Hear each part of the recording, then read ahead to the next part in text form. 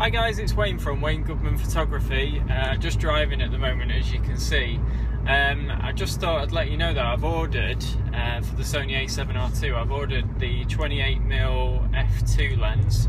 Um, that should be with me within a week, but I'm guessing probably sooner.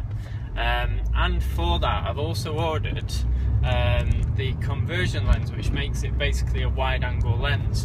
So I'm quite excited about that. I've got um, at the moment I have a 15 millimeter wide-angle lens that I carry around with me, but it's a manual focus, um, and I'm just thinking of this amazing scenario where you know you can just quickly stick this adapter onto the lens should you wish to use it.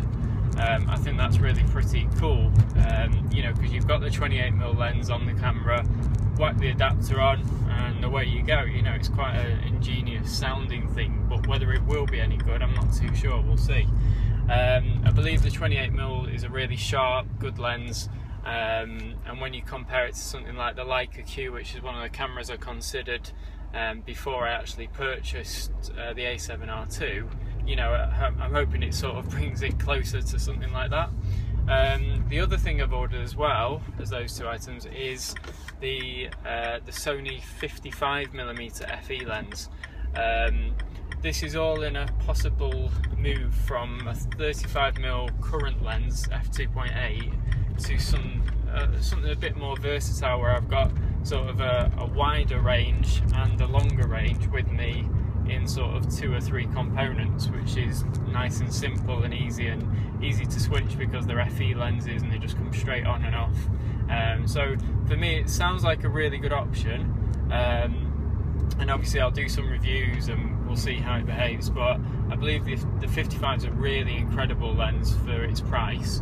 Um, so hopefully, you know, that's the case and it makes the most of that amazing sensor and we get some nice, really detailed, sharp images. Um, whether it will suit my style of photography, I'm not sure because it's not something I've ever really gelled with at that focal length. But then again, I've never really had a camera like this where I just want to use it so much and, and try so many different things. So that's my new orders that are on the way. I've got the 55mm, the 28mm, and then the adapter to make the 28mm into I think it's either a 20 or a 21mm wide angle. Um, so let me know your thoughts. If you've got those lenses, let me know sort of what your findings uh, are and, and uh, if you use them as much as you thought you would or if you use them less than you thought you would. Um, or if you've just bought sort of the 55 and then never taken it off because I've heard some people have just started to do that.